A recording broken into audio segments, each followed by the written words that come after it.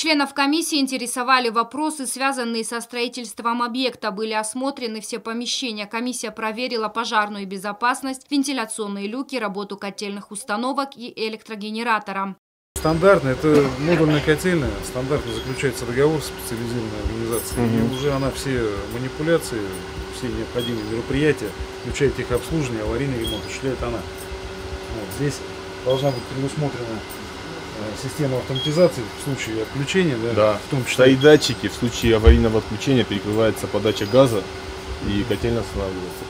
Котельная останавливается, Да. сигнал проходит куда сейчас сигнал? Сигнал проходит, можно настроить даже на телефон, грубо говоря. Он приходит сигнал, и вы знаете, то есть должен быть человек, то есть это вопрос эксплуатирующей организации, кто-нибудь будет либо сами будут заниматься, либо какая диспетчерская организация, и будет заниматься обслуживанием. Объект возведен на западной окраине Схинвала возле территории бывшего авиационного завода. К строительству хранилища для государственного резерва приступили в середине лета 2020 года. Одноэтажное здание ангарного типа площадью 1300 квадратных метров построено из быстровозводимых конструкций. В хранилище предусмотрены склады продовольствия и строительных материалов, а также оборудование, самоходной техники, разные технические помещения. Сами убедились, на сегодняшний день складские помещения Казахстанного резерва построены, построены добротно, на совесть.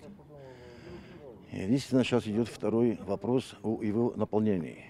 Значит, внутри здания, вы убедились, сами были внутри, э, все складские помещения оборудованы соответственно документам, где будут находиться продукты питания, есть склады отдельно, где будут находиться строительные материалы, есть специальные боксы, где будет установлена техника.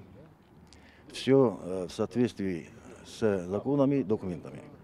Все работы в здании Госрезерва полностью завершены. Сейчас в руководстве МЧС решают вопросы, связанные с наполнением складских помещений. В нашей республике решается вопрос о его наполнении, то есть приобретении техники соответствующей, те, которые были нами внесены э, в случае необходимости во время ЧС, и, а также э, строительного материала. Это все будет, второй этап, будет закупаться, и по- потихонечку мы будем их наполнять. Складские помещения, как вы уже, наверное, знаете, э, мы до этого с вами об этом говорили, рассчитаны, рассчитаны на тысячу человек. В течение 10 суток они дол- должны быть всем об- обеспечены.